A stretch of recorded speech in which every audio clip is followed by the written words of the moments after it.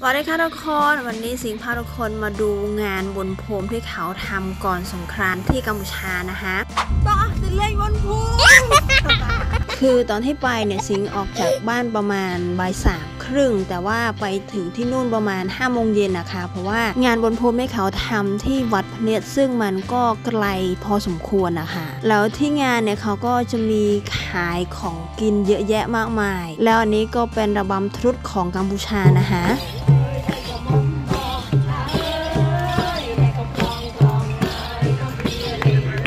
แล้วก็ในงานนี้นะคะก็จะมีจัดงานศิลปะต่างๆ มากมาย มีทั้งศิลปะสมัยใหม่แล้วก็ศิลปะโบราณ แล้วอีกอย่างก็ยังมีการเล่นเกมอะไรต่างๆ อีกด้วยตอนไอเธอมันก็เป็นเปล่า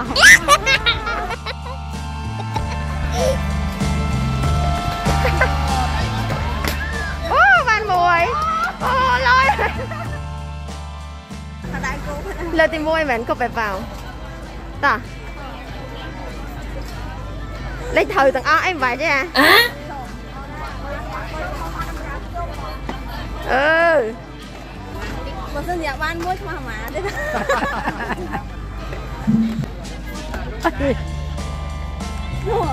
ยอมเจียวจอมเป็นเป้าเลย Bây giờ ha cô phải bao mấy nắng mặt kê cô lên tình qua ba xong bay một quán thay nào mà tiền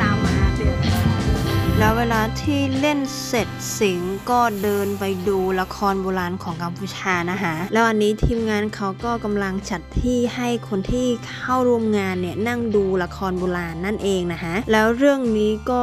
ชื่อว่าตันเลเกามุยแล้วอันนี้คือเอาตรงๆเลยนะคะคือหนังนี้เป็นครั้งแรกที่สิงได้มานั่งดูละครโบราณของกัมพูชาแบบถึงที่เลยอะ่ะงั้นคลิปวันนี้ก็มีแค่นี้นะคะ เจอกันคลิปหน้า